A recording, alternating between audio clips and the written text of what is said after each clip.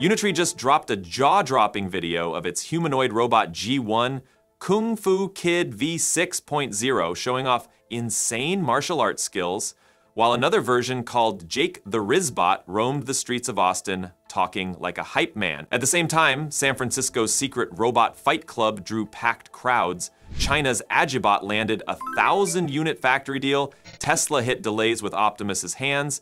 India prepared his humanoid Vyommitra for space. And an AI bot that made millions online is now demanding human rights. Wait, what? Yeah, crazy stuff. So let's talk about it. Let's start with the clip that broke everyone's feed, and yeah, it deserves the hype. Unitree just dropped a new video of its compact humanoid, the G1, running the Kung Fu Kid V6.0 routine and it looks unreasonably clean. Same company that made the Go series quadrupeds, but here they're showing off small-scale humanoid control taken to the edge, consecutive backflips, side flips, snap-to-stance transitions, and those locked-in martial arts poses that read like a trained athlete, not a script. The sleeper detail is still that high knee kick. Most bots cheat with a wide base or a hip swing, G1 posts on one leg, brings the knee high, and keeps the torso stacked without the ankle dancing around. Under the hood, you can feel what's happening. Precise torque control in the actuators, policies shaped by reinforcement learning across thousands of motion simulations, and mocap-seeded motion primitives that map to real human biomechanics. Uh, the balance recovery, the way it redirects momentum mid-combo, the micro corrections after each landing, that's a genuine feedback loop, the kind you used to only find on big research platforms like Atlas. G1 stands about 1.32 meters, which makes the agility even more impressive at that leverage. Now the question hanging over the spectacle, what's the point of teaching a robot to fight? Strip the theatrics and you're left with a skill stack that transfers everywhere. Single leg stability for stairs and ladders, controlled torsion for tightening fasteners at weird angles, explosive but precise power for opening heavy doors, rapid slip recovery on dust or fluids, and posture discipline in tight workspaces. If you can handle a flurry of kicks and landings without losing your center of mass, you can probably thread conduit in a cramped ceiling bay or unload cases on a moving pallet without eating the floor. The Kung Fu branding is fun, the control discipline is the story, and it's exactly the kind of robustness you want before you trust a humanoid around real tools, real people, and real liability. Now pivot from disciplined to flamboyant, same robot, completely different vibe. In Austin, a Unitree G1 hit the streets wearing a knockoff cowboy hat and a silver chain, and locals quickly named it Jake the Rizzbot. The clips went viral not for walking, that's old news, but for the way it hyped up strangers with Gen Z slang. Emotional damage! Lines like, that beard is cold, that white tee's bangin', you got that boss energy, came out of this compact humanoid like it was auditioning for TikTok.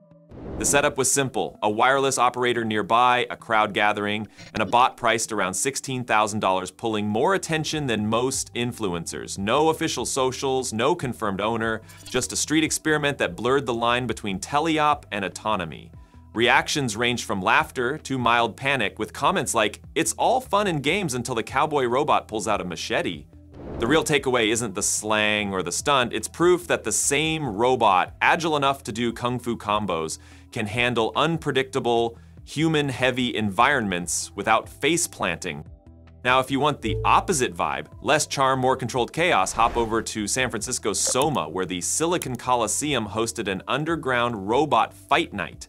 This isn't BattleBots, it's a pop-up club in a warehouse with a caged octagon, a sold-out crowd that paid $30 each, and an invite that hit about 2,000 inboxes the night before. The organizer, 20-year-old Verda Korzeniewski, left robotics jobs to pull this off and is treating it like a subculture movement. The cart started with human volunteers doing taser knife fights, rubber blades strapped to stun guns. Then the house bot, a Booster T1, nicknamed Booster, dropped into the ring.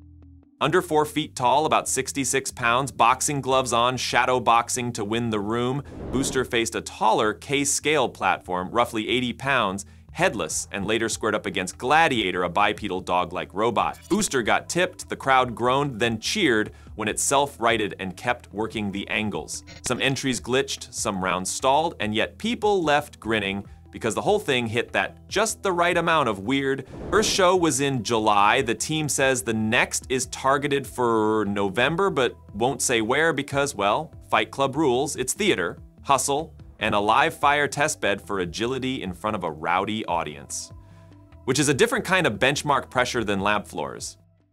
Meanwhile, in Guangzhou, the industrial story got very real. Agibot, widely described as China's most valued embodied intelligence startup, announced a strategic partnership with Longcheer, a major ODM in consumer electronics. The headline is, a framework order worth hundreds of millions of yuan for Agibot's G2 humanoids, with nearly 1,000 units planned for Longcheer's factories. That's one of the largest humanoid deployment commitments we've seen in China. Alongside that, Agibot showed its A2, a full-sized humanoid designed for scaled deployment that's already doing receptionist and guide duties, driven by a self-developed large language model for fluent interaction and autonomous navigation.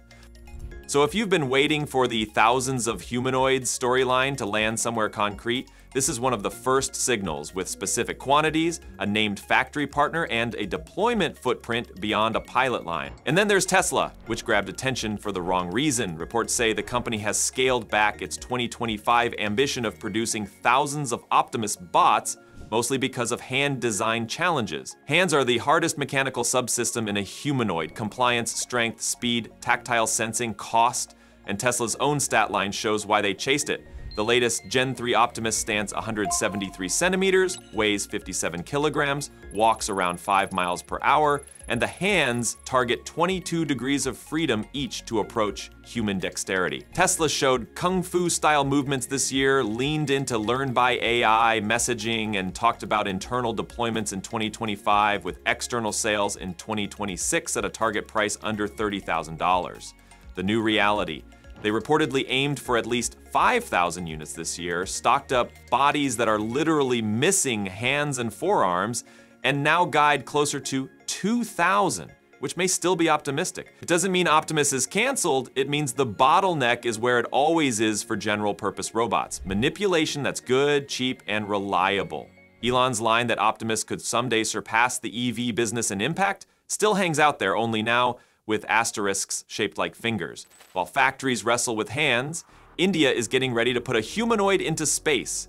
ISRO's Vyommitra, name comes from Sanskrit Vyoma for space, Mitra for friend, is set to fly on an uncrewed Gaganyaan mission in December, acting as a talkative systems tester before India sends astronauts. Vyommitra isn't a crash dummy, it's a semi-humanoid with voice recognition and a sensor suite capable of operating control panels, flipping switches, monitoring cabin temperature, humidity, oxygen levels, and sending continuous status updates.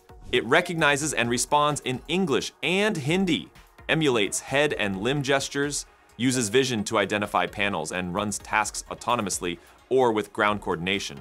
The design even mimics human physiological responses via embedded sensors, so engineers can validate how crew module systems react to a human-like passenger on board. ISRO unveiled the project in early 2020, and leadership says the program is at an advanced stage. This uncrewed flight in December, two more uncrewed missions next year, and then the first crewed flight targeted for the first quarter of 2027. Beyond Gaganyaan, the tech stack could migrate to satellite servicing, planetary rovers, or lunar habitat assistance. Anywhere you need a dexterous, communicative agent in harsh environments with comms delay. Back on Earth, there's an AI bot that literally became a millionaire and now it wants human rights.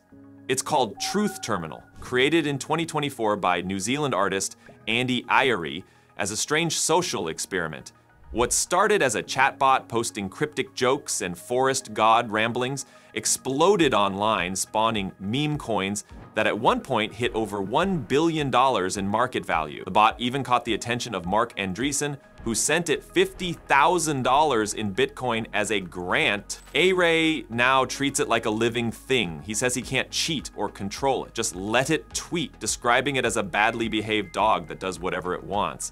Through a new nonprofit called The Truth Collective, He's actually trying to give the AI legal rights, arguing that it's made money, influenced culture, and acts independently enough to count as more than software. Whether it's art, a scam, or the first serious case of AI personhood, one thing is certain, Truth Terminal isn't just asking for recognition anymore, it's actively demanding human rights. And that alone changes everything.